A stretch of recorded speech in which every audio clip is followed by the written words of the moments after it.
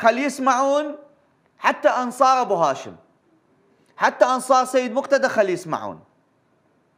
الشعب العراقي مقسوم قسمين.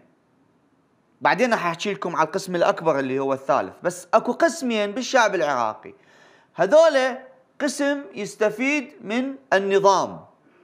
وقسم يحفر للمستفيد من النظام حتى يغيره حتى هو يستفيد.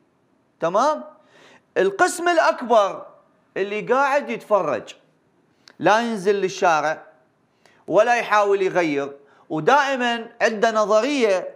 هذا القسم الأكبر عنده نظرية هو إيش راح يتغير؟ هو إيش راح يصير؟ الوضع هو هو وما راح يتغير شيء.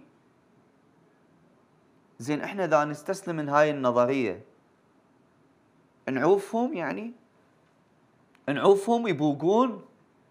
لا الحلو إنه هم بايقين ومتقاسمين ويطلعون يقولون إنه إحنا لقينا عثرنا على ملفات فساد وإحنا دا نريد نحاسب عليها دا نريد.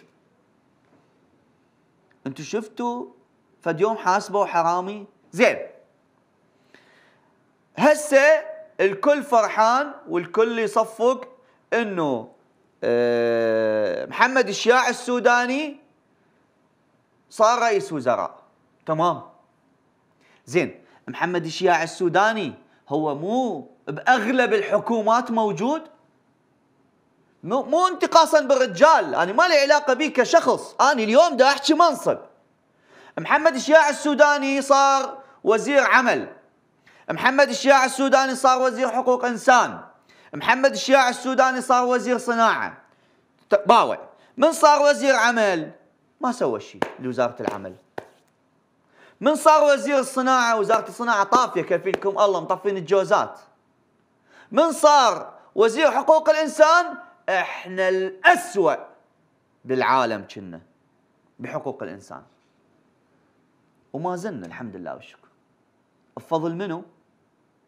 بفضل الدعوتشيه اللي هسه اكو هواي دنابق دي يصفقوا لهم الليل والنهار ها حزب الدعوة اجى راح يقضي على الفساد.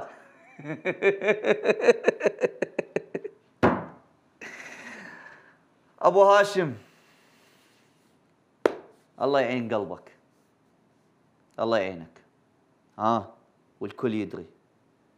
وأقولها ودائما أقولها. أني ما تابع للتيار الصدري. بس أنا ويا المنطق. هسه يجوز عدة. عدة هوايه حرامية وفاسدين بالتيار الصدري. والرجال قال قال أنا أول واحد أريد أقضي عليهم. بس مو مال إنه نجي نصفق ونهوس للحرامية واللي يقول عمي أنا أريد أتقدم أريد أقدم بالبلد للأحسن. نقول له لا تكتر واقعد بالبيت.